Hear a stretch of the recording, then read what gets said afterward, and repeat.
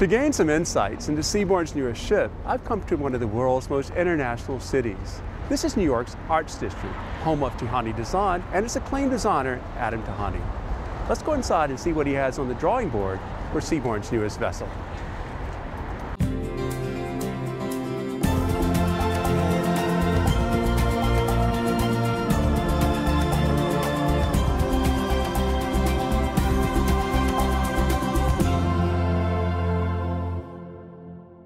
Adam Tihany is an icon in hospitality design. From his New York studios, he sketches interiors that have come to represent the pinnacle of restaurant and hotel design. Tihany's dream, however, was to design an entire cruise ship. Seabourn Encore will be his first.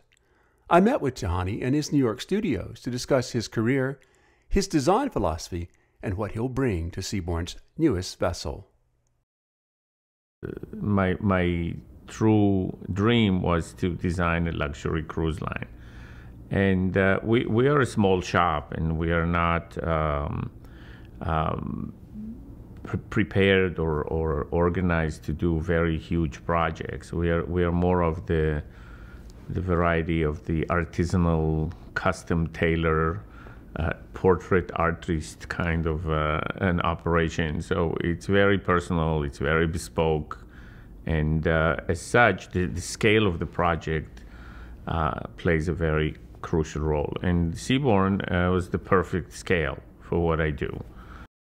In 2016, Seabourn will introduce Seabourn Encore.